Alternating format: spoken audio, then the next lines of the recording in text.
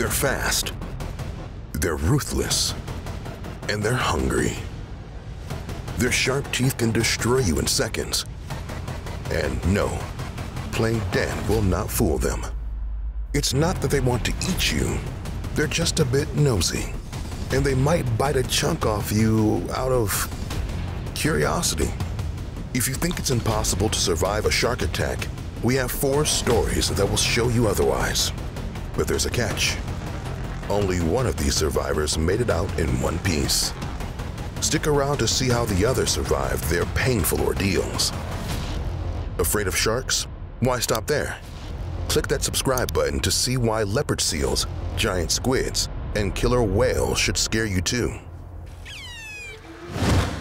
In 2006, Bernie Williams was scuba diving three kilometers off the beach in Perth, Australia. While searching for crayfish, Williams was suddenly struck on the side with what he said to be the force of a truck.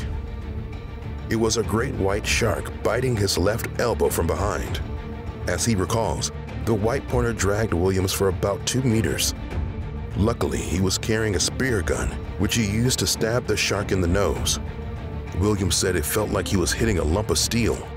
After fighting off the shark, he hid in a crevice on the ocean floor for about five minutes. The shark kept looking for Williams until his friends arrived. One of them was wearing a shark repellent. He said that while the situation was scary, he's not giving up diving for crayfish. Next time, he'll pack some shark repellent. Bethany Hamilton was a promising young surfer, gaining her first sponsorship at the age of nine. In 2003, 13-year-old Bethany was attacked by a 4.3-meter tiger shark while surfing in Tunnels Beach, Hawaii. Thankfully, she was surfing with her friend Alana Blanchard and Alana's father and brother. They helped paddle her back to shore, where she was then taken to Wilcox Memorial Hospital. The attack left her with her left arm severed below the shoulder. She lost 60% of her blood and went into hypovolemic shock. Not only did she survive, but it took her less than one month to get back into the water and less than three months to compete again. Her story inspired a Hollywood film as well as a documentary. She doesn't often talk about the attack, but has been open about her journey to recovery and very open about her views on transgender athletes. In 2015, 26-year-old Chris Blowes was attacked by a shark while surfing on the Eyre Peninsula in South Australia. The 5.5-meter great white grabbed Chris and his board while he was paddling. Blowes says the shark shook him and played with him for a bit. The second time the shark attacked, it pulled his leg off. That's when his friends arrived to help him.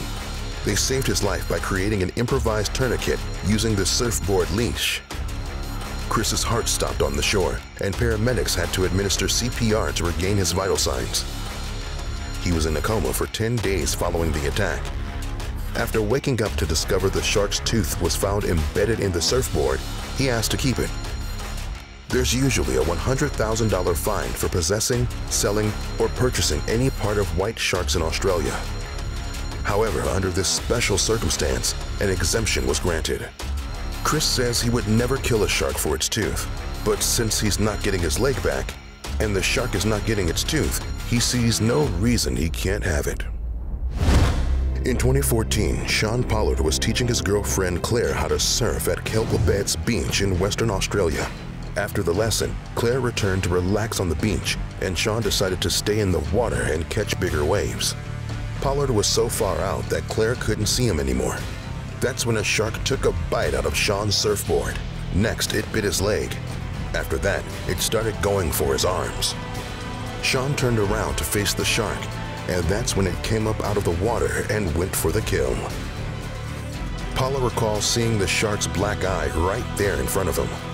It's a vision that will be forever burnt in his mind. With both his arms in its mouth, the shark pulled Sean underwater. Pollard held his breath while the shark violently shook him seven or eight times. Suddenly, he was back at the surface and there was blood everywhere. The shark had ripped his left forearm off and sucked the meat off his bone. Sean later compared it to a chicken bone. When the worst seemed to be over, he felt another bump. A second shark came in and took his right hand. He was able to paddle back to the beach where four people had just arrived. They all performed first aid on him before paramedics arrived. Despite his injuries, Sean was still awake and very present. One of the paramedics remembered him saying, Can you just please stop the pain, mate? Sean got 95 stitches and 45 staples. He also got a prosthetic arm and had to learn how to walk again due to the injuries to his legs. In 2015, he adopted snowboarding and made it to the team that competed in the Winter Paralympics in 2018. One big lesson we can learn from these stories is to avoid going into the ocean by yourself. Something all survivors had in common is that there was someone near to help them. Something else we learned? Australia has some dangerous beaches. So it's really no surprise they're home to the most dangerous beach in the world. Sharks are only one of the things that could kill you out here. See the whole video right here on how to survive.